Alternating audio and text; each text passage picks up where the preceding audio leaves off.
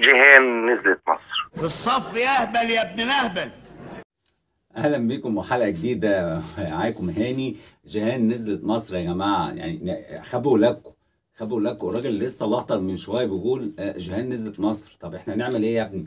أنت مجنون يا حبيبي ولا في إيه؟ مالك مالك. اهدى حبيبي؟ جيهان نزلت مصر؟ أيوه أنا يعني إيه اللي هيحصل في الدنيا يعني؟ إيه هتسجن الراجل يعني؟ وأنتوا مفيش أي حاجة سمعناها عنكم بقالنا شهور وأسابيع.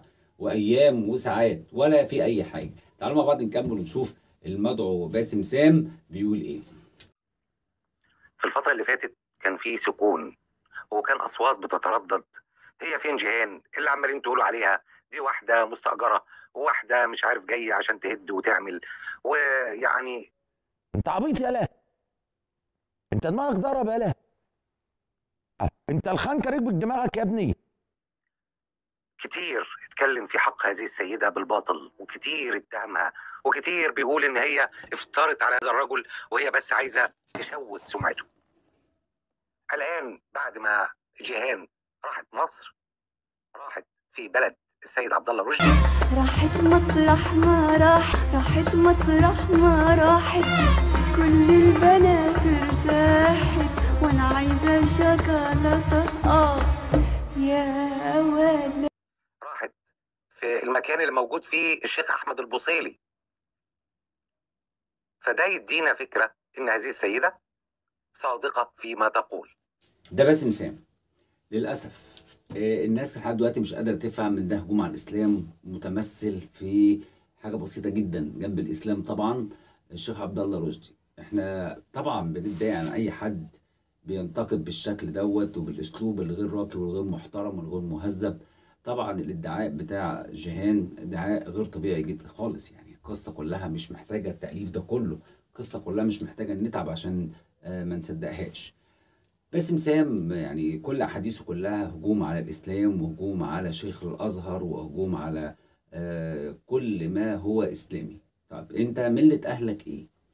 انت بني آدم ما عندكش ريحة الدم ولسانك طويل وعمال إسفاف إسفاف. انت قاعد في ألمانيا وعمال توقع بين الناس وبين المسلمين والاقباط هنا في مصر. ليه؟ مش عارف. إحنا كلنا نسيج واحد وكلنا بنحب بعض ما عندناش أي مشاكل. بالعكس إحنا جيراننا زي الفل الاقباط أو المسيحيين. مفيش مشاكل بتحصل في الشغل في البيت في الشارع في أي حاجة ما بتحصلش مشاكل خالص. انت اللي شغال ليه؟ عمال تهري وعمال توقع بيننا وبينهم.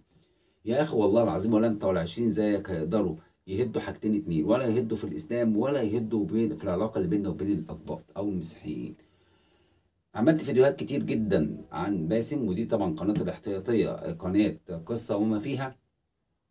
عشان احتياطي على القناة الأولى الخلطبيطه هسيب لكم رابط قناة خلطبيطه تحت اللي بتنتقد كل ما يستحق النقد. لكن باسم سام ده شخصية فعلا غير محترمة وغير مهذبة. راجل آه، متسلط علينا مش عارف علينا منين بصراحة للأسف. أنا مش عارف له مش عارف له ملته إيه مش عارف جنسيته إيه مش عارف. هو واضح ان هو مصري لكن عايش في ألمانيا وقناة السموم اللي على اليوتيوب اللي هو عاملها قناة شغالة ليل نهار. طب يا سيدي إحنا عرفنا بقى جيهان جت جيهان نزلت مصر. إيه نعمل إيه يعني؟ يعني إيه المطلوب يعني؟ هت... هتعمل إيه في الراجل يعني؟ مش فاهم. مش في قضية حبيبي شغالة فين بقى التحقيقات بتاعتها؟ فين النتائج بتاعتها؟ ولا شايفين أي حاجة. هري فهري جيهان نزلت مصر. طيب يا سيدي هتعمل إيه بقى جيهان عايزكم تشوفوا الحلقة يا جماعة اللي كان عملها مذيع مصر عن جيهان وهو كان أول واحد كلمته جيهان هسيب لكم رابط الحلقة فوق هتطلع في الآي هنا أو هنا هتطلع لكم. هسيبها لكم في صندوق الوصف تحت. اتكلمت جيهان مع مذيع مصر ومسك عليها غلطات كتيرة جدا. وعرف مين اللي وراها ومين اللي ساندها بعض شلة الملحدين وهو الهدف. أنا مش هحرق لكم الفيديو. سيب لكم أنتوا الفيديو تتفرجوا عليه. لكن باسم أساني. يعني أذاني في قناتي الأولى قناه خلطبيطة وعليها دلوقتي المفروض جالي انذار من اليوتيوب ان خدت مقاطع من عنده استشهدت بيها. لكن يا باسم اطمن كله اتدمر كله اتكسر. شلت كل الفيديوهات اللي عملتها عنك الباقيه وحجبتها عنك. وعملت حظر قناتك يعني أنا إن شاء الله مش هيهمني حاجة منك بإذن الله. وعايز تهد دي كمان هدها يا سيدي. بس قول الحق أنا هفضل أقوله. وادافع عن الشيخ عبد الله وكل الناس المتابعين معايا بيدافعوا عن الشيخ عبد الله. وهنفضل نتابع كلنا هنفضل ندافع عنه. فهد بقى كده يا حبيبي واتبط. بتقول قناتك اسمها الفكر الحر. ولا فكر حر ولا حاجة. ما تسيبني يا عم نتكلم. طب أنا راجل عايز أتكلم عن اللي أنت قلته. أعمل إيه يعني؟ أجيب حتت منين يعني؟ من عدوية ولا أجيب حتت من الكلام اللي أنت بتقوله؟ هري في هري. فأنت يا حبيبي تهدى كده. جيهان جت. أهلا وسهلا. في تحقيقات في قضاء في كل حاجة. تعالوا نشوف مع بعض الهدف اللي هم عايزينه إيه بالظبط. بالظبط. من عبد الله رشدي. غيظاهم جدا الفتاوي اللي بيطلع يقولها. القناة بتاعت عبد الله الشيخ عبد الله رشدي مليون وي بيطلع الراجل بيرد على كل سفيه وكل علماني آه، بيجول في خاطره إنه يهاجم الإسلام. طبعا عبد الله رشدي ربنا يديله الصحة ويديله مزيد من العلم الراجل بيلسوعهم هم بقى محروقين قوي. هتلاقي كل القنوات كده. بجد آه، يعني مفيش. الراجل مش مديهم فرصة. كل ما حد يطلع يتكلم يطلع يقوم يديله. الهانم اللي اسمها أبو القمصان نهاد أبو القمصان. عامل حلقة يا جماعة واسيب لكم برضو هتطلع في الآي هنا كده برضو بصوا عليها وتشوفوها. نهاد أبو القمصان بتتكلم عن المواريث في الإسلام أو الميراث في الإسلام أو نظام الميراث في الإسلام وحقوق المرأة في الإسلام. طيب طالع مع مين؟ مش هقول لكم باسم باشا اللي هو باسم سام. يعني طالع مع ملحد وهي ست محجبة والحجاب بتاع الله أعلم. يعني أنا الحتة دي عندها مش عارف إزاي تبان يعني. الحجاب وطالع لورا قوي يعني ما شاء الله عليها. وست محجبة مسلم المفروض إن هي مسلمة.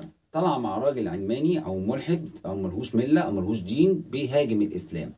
وسمعته موجودة ويهاجم شيخ الأزهر. طب يا شيخ يعني اتنحرري شوية عشان شيخ الأزهر. يعني خلي عندك دم الراجل ده غير في شيخ الأزهر. تطلعي معاه. يعني أنت المفروض تطلع مع واحد يعليكي مش واحد يقل منك. انت ما تطلع مع واحد قناته كلها 35 ألف مشترك على اليوتيوب طلع معاه ولايف وساعة بالظبط بتتكلموا وبتهاجموا في الدين أو الوري التوريث نظام التوريث أو الوراث الميراث في الدين الإسلامي أو في الشريعة الإسلامية.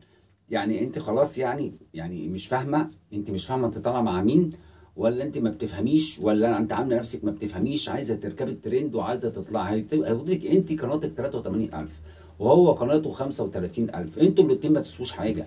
ده أنتوا ما جبتوش ربع الشيخ عبد الله. يعني أنتوا ما جبتوش حتى تمنه. تمن المشتركين عند الشيخ عبد الله ما جبتوش. الراجل مليون و300 ألف. أنتوا الاثنين على بعضكم ما كملتوش 100000 110000 يعني أنتوا الاتنين ما تسووش حاجة. يا نهاد أبو القمصان اللي طالعة بتهللي في كل مكان ومش عاجبك الإسلام وعمالة تتكلمي عن نظام التوريث والميراث في الإسلام. مع مين؟ مع ملحد. هياخدك معاه لتحت. انت فاكر ده هيطلعك فوق ده هياخدك لتحت. وخسرت ناس كتيرة جدا من بتوع حقوق المرأة اللي معاكي.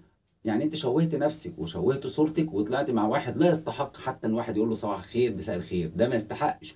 بيهاجم دينك يا مش عارف أنا أقول إيه. انت متخلفة. ما أنا ماسك نفسي يا جماعة معلش أنا آسف يعني. يعني انت مبسوطة دلوقتي يعني هادي ما تطلع مع واحد زي ده؟